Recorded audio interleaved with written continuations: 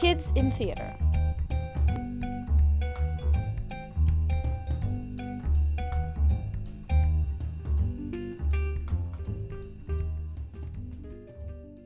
Two baby goat kids were living in a small house in the woods. Every time their mother went to work in the city, they would stay closed at home because they were scared of the wolf who came around quite often. One day, they decided they would join their mother in the city because there were no wolves in the city.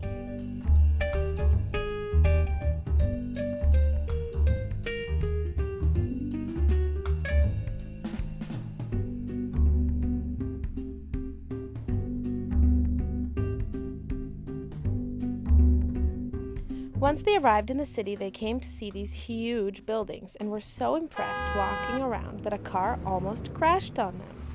Walking through the city, the kids arrived at a theater. Wow, a theater! The kids said and went into the theater.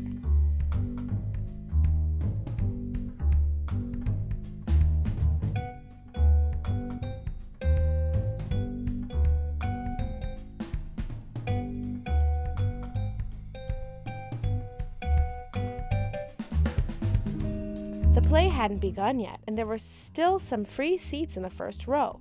So they decided they would sit there in order to see the play better.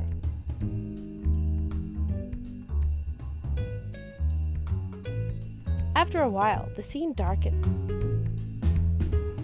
And when it got bright again, three lambs were grazing in the scene, and this is how the play started.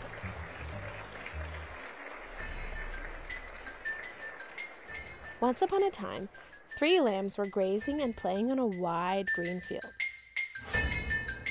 Soon they became thirsty and went to have some water. But once they approached the basin, they recognized there was no space for them to drink at the same time. That's when they started arguing. No, I want to be the first to drink. No, it should be me, they argued.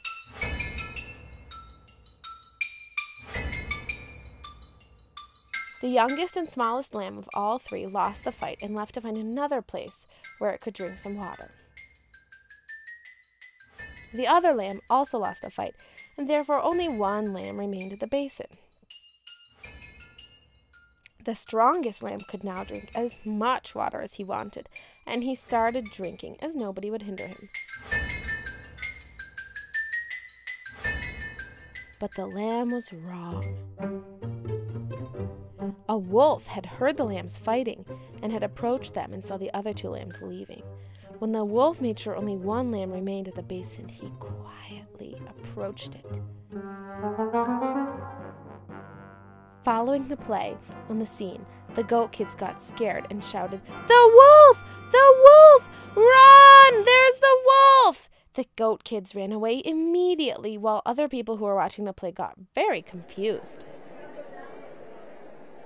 The man who was acting the wolf was also confused and left the scene running after the kids, trying to explain to them that it was only a play and not real. The kids arrived outside the theater and were waiting for a bus at the bus stop. The man who was acting the wolf approached them, took his mask off, and explained that he was a random man and not a real wolf. He also explained it was just a theater play and tried to convince them that leaving is not a solution, but that people must act and stay together to be stronger.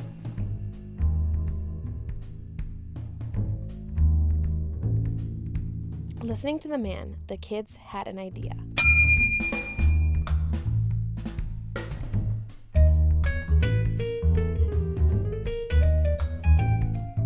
They invited the actor and other people from the theater to their home, where the real wolf was waiting. the kids and their new friends started to hunt the wolf, who got terribly scared and ran away as fast as he could. From then on, the kids were able to live happily ever after in the woods because the wolf never came back.